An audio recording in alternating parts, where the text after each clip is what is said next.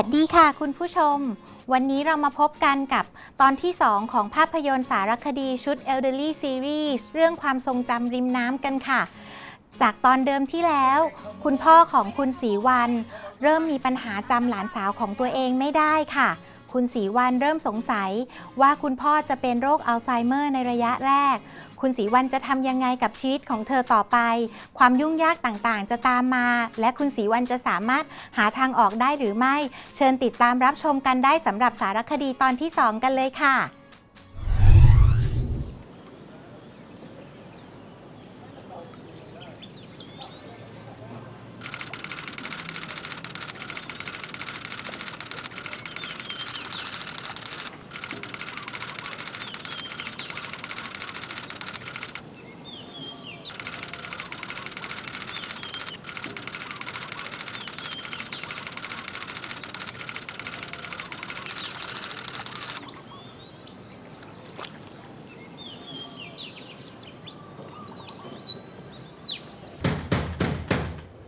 พ่อไปหาหมอเถอะ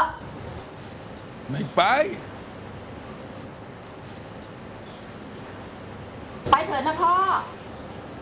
ไม่ถ้าพ่อไม่ไปอะ จะหนักกว่านี้นะ ก็ข้าไม่เป็นอะไรนี่พอเหอะแม่ ตาไม่ยอมไปง่ายๆหรอก แม่ก็รู้ตาดื้อจะตายส้มนี่มันตาแกนะ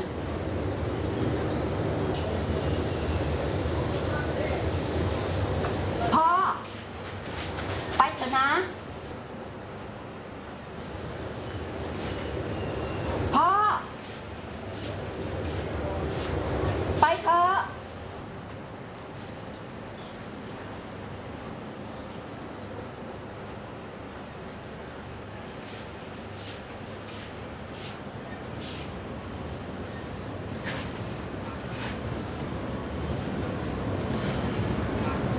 เป็นไง หนูบอกแล้ว แกไม่ต้องมาพูดเลย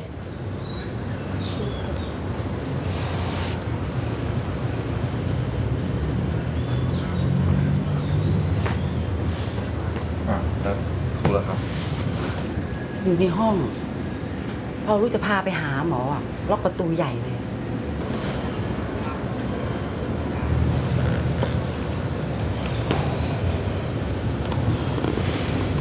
ชัย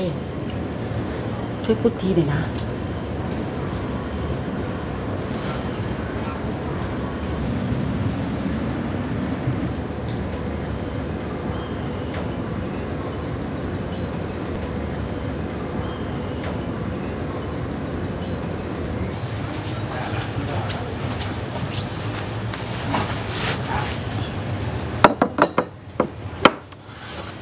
กินข้าวพ่อ ไม่กิน ไปเอาเอานมเค้กโอวัลตินมา พ่อ หมอสั่งห้ามให้กินนะ หมอเหมืออะไรไม่เข้าใจแล้วก็ข้าจะกินน่ะ ไปมาที่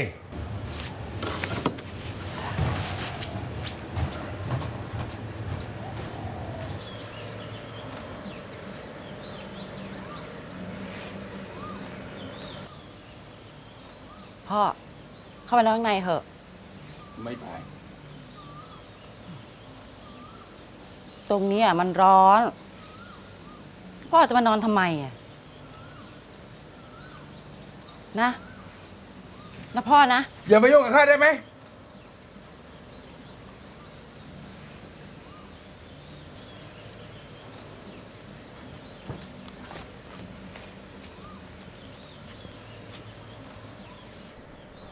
ฮัลโหล ตุ๊ก ช่วยเล่ารายละเอียดแกอาการของพ่อแกให้ละเอียดหน่อยสิ อ่าอ่าแป๊บเดียวก็ลืมแล้วเหรออ่าอ่าแล้วอารมณ์อะ ขึ้นขึ้นลงลงใช่ไหม อืมอืม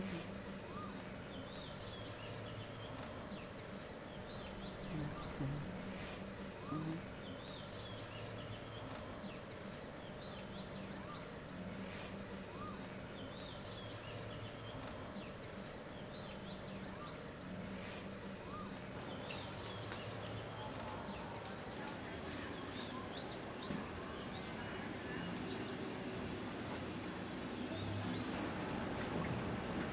วัส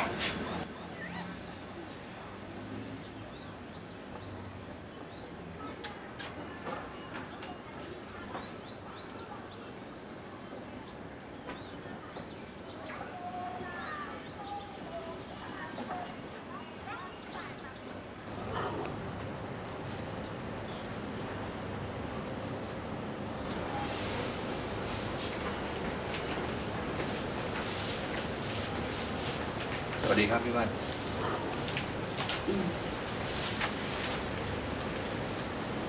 ฝากอันนี้ให้ครูด้วย พอดีอะหมอสั่งห้ามให้กินของหวาน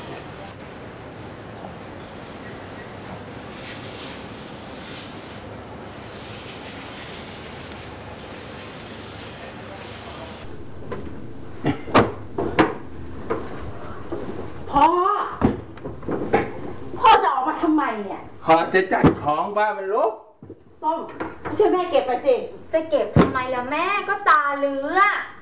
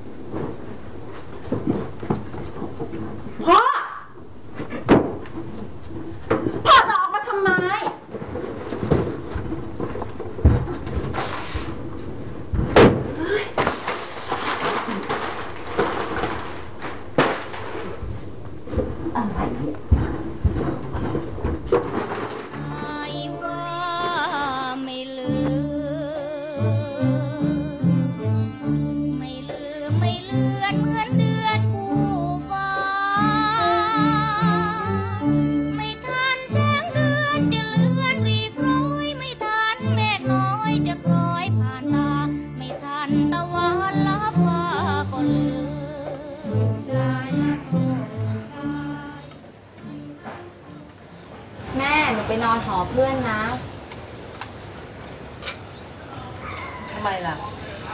ใกล้สอบแล้วแม่ หนูอยู่ที่นี่อ่านหนังสือไม่รู้เรื่องเลย แกมีคิดช่วยทำมาหากินบ้างหรือไงฮะโหแม่ขอเหอะถ้าสอบตกก็แย่เลยนะ แกจะกลับมาเมื่อไหร่ล่ะ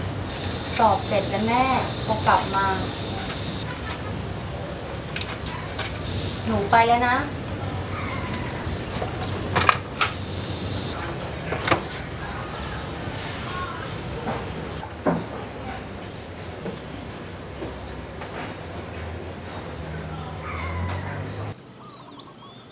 ฮัลโหล ชาย พี่ วานให้มาอยู่เป็นเพื่อนพ่อพี่หน่อยสิ พี่จะออกไปข้างนอกเหรอเหรอเหรอเหรอเออเออเอองั้นไม่เป็นไรนะ ขอบใจขอบใจ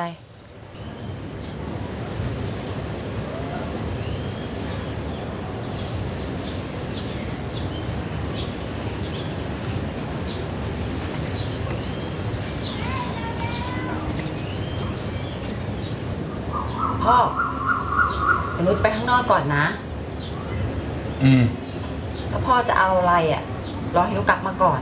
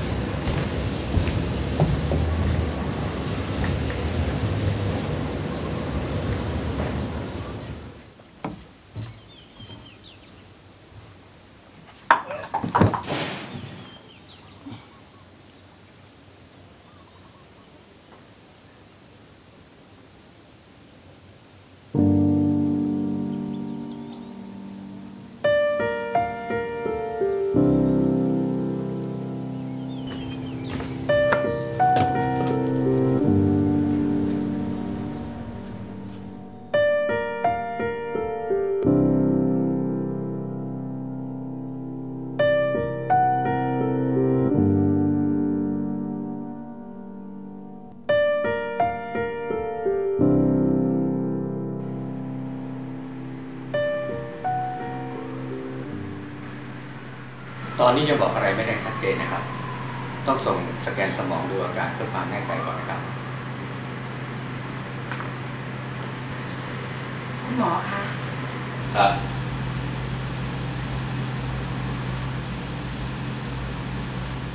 ต้องเสียค่าใช้จ่ายเยอะไหมคะ ก็พอสมควรนะครับ คือจะต้องมีค่าใช้จ่ายในหลาย ๆ ส่วน และค่าใช้จ่ายส่วนที่อาจจะเพิ่มขึ้นอีก รวมถึงต้องนอนพักเพื่อรอดูอาการอีกสักระยะหนึ่งนะครับ แล้วสิทธิ์ข้าราชการอะเบิกได้ไหมคะ เบิกได้บางส่วนนะครับ แต่ส่วนที่เกินสิทธิ์ไปแล้วเนี่ย คุณจะต้องจ่ายเอง ขอตัวนะครับ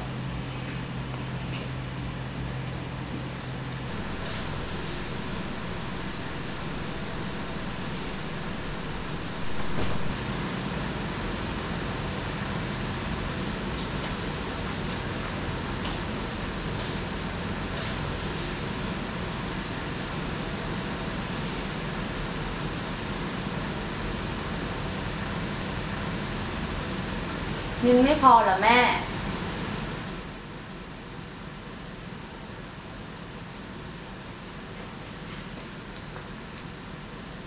ถามจริงๆเหรอแม่ เงินในบัญชีเหลือเท่าไหร่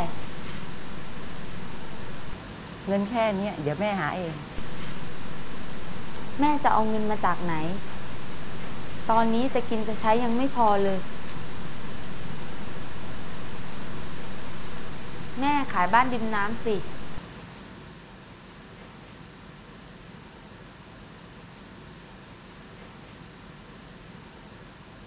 อะไรอะแม่ น้ำส้ม แกก็รู้อะว่าบ้านหลังนั้นน่ะตาแกน่าจะตายไป แต่ถ้าเราหาเงินไม่ได้เราก็แย่นะแม่ ตาเป็นถึงขนาดนี้แล้ว แกไม่รู้เรื่องอะไรหรอก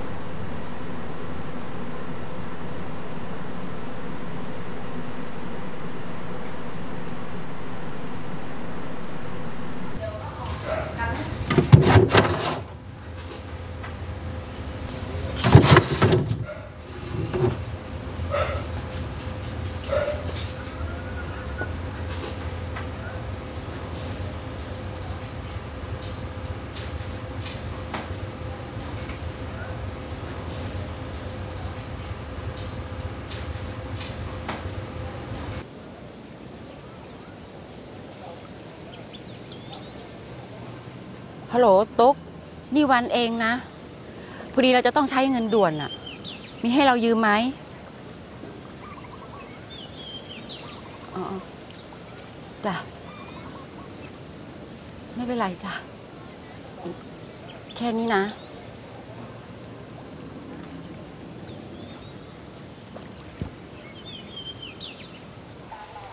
ฮัลโหล คุณเบน วันเองค่ะ ก็เจ้าของบ้านเรือนไทยที่คุณเป็นติดต่อไว้หกเดือนที่แล้วไงล่ะคะ ค่ะ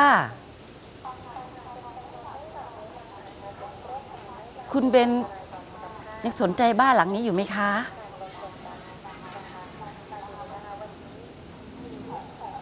ค่ะ ถ้า ถ้าอย่างนั้นอะพรุ่งนี้อะคุณเบนอะ ว่างไหมคะ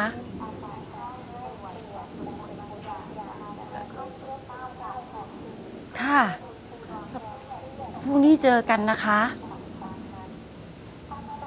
ค่ะค่ะ สวัสดีค่ะ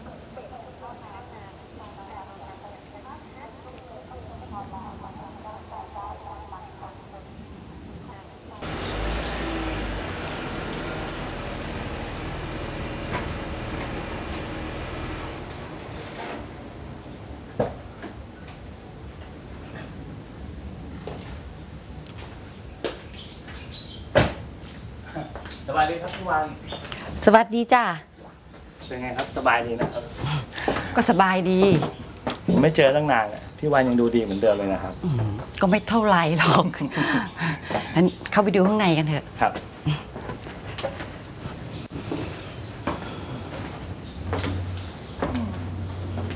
บ้านหลังเนี้ยมันโซมไปเยอะเลยนะครับพี่ก็ไม่ค่อยค่อยได้ดูแลกันเท่าไหร่พักเนี้ยมีแต่เรื่องยุ่งๆอยู่อะ เออแต่ ว่าบรรยากาศรอบๆบ้านเนี่ย มันก็ยังเหมือนเดิมนะครับเออพี่วันครับ แล้วชาวบ้านแถวนี้เขายังนิยมขายบ้านกันอยู่หรือเปล่าก็ไม่ค่อยมีนะ ก็มีแต่บ้านหลังนี้แหละ แล้วคุณเบนน่ะยังต้องการบ้านหลังนี้หรือเปล่าคะ อืมที่จริงบ้านทรงไทยหลังเนี้ย ผมก็ยังอยากได้อยู่นะครับค่ะเพราะว่าตอนเด็กๆเนี่ย ผมก็มีความผูกพันกับบ้านทรงไทยพอสมควรครับ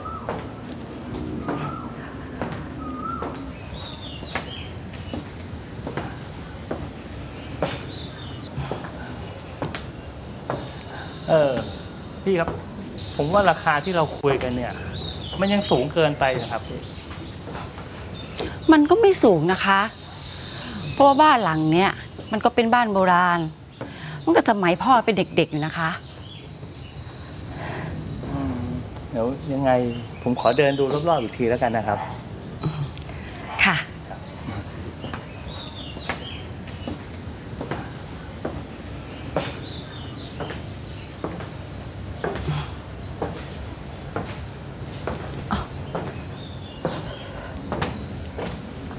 ฮัลโหล ค่ะ ค่ะ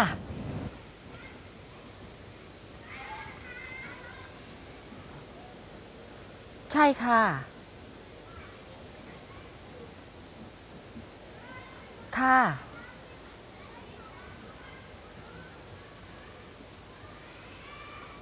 แล้วจะรีบไปนะคะ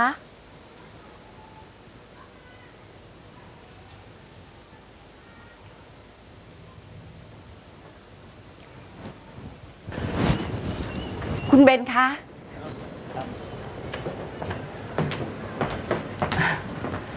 ฉันขอตัวไปทำธุระที่โรงพยาบาลก่อนนะคะ มีเรื่องด่วนนะคะ อ๋อโอเค ได้ครับ ค่ะ แล้วอีฉันติดต่อไม่ใหม่นะคะ ครับ โอเคครับ ค่ะ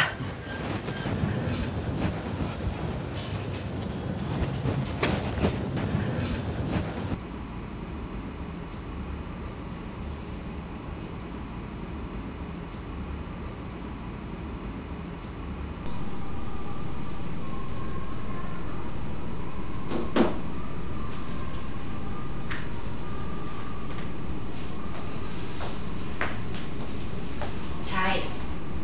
พ่อเป็นไงบ้างคุณหมอเพิ่งให้พยาบาลฉีดยาสลบไปครับพี่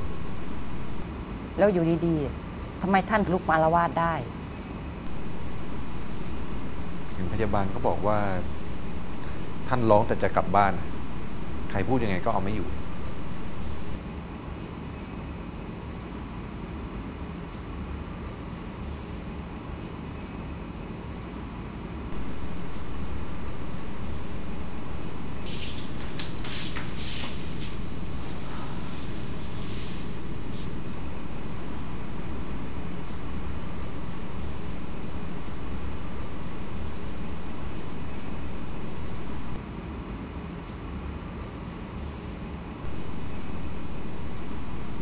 แล้ วทางนั้นเขาว่าไงบ้างครับพี่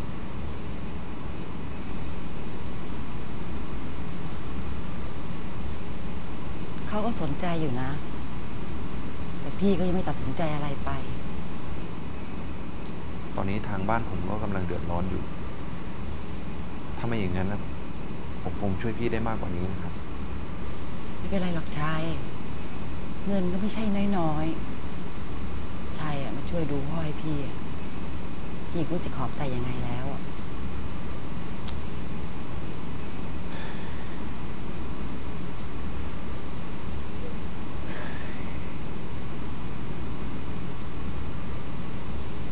แล้วพี่จะย้ายไปอยู่ที่ไหนครับ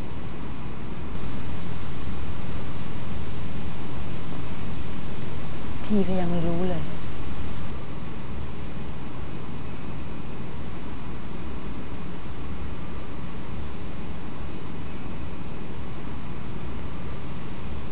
ถ้าอย่างนั้น ย้ายไปอยู่บ้านเก่าผมก่อนก็ได้ อยู่ใกล้ๆบ้านพี่เองครับ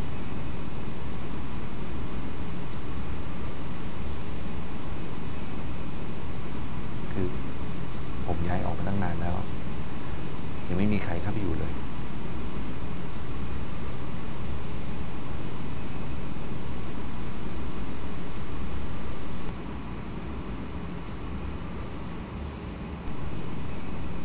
พ่อกิน ข้าวหน่อยนะ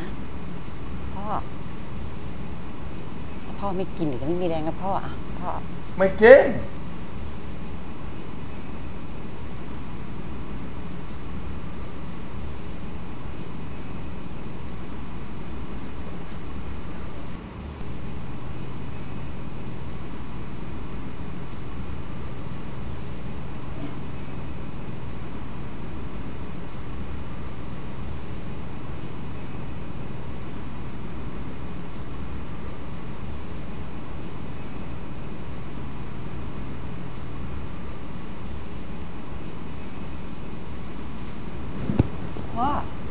ไปไหนอะ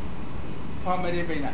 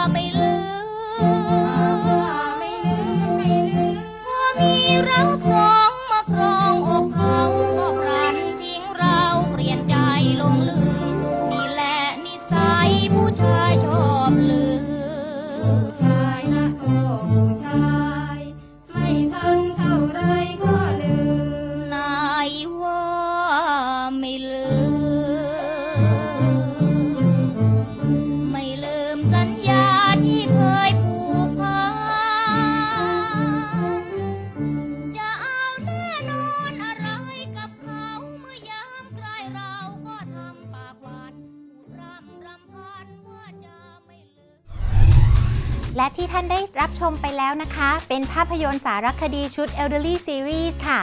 ซึ่งสามารถติดตามรับชมได้ทุกวันอาทิตย์ เวลา 20นาฬิกาถึง 20นาฬิกา30 นาทีค่ะ และถ้าหากคุณผู้ชมพลาดไปไม่ได้รับชมในวันเวลาดังกล่าว สามารถติดตามรับชมได้ย้อนหลังทาง w w w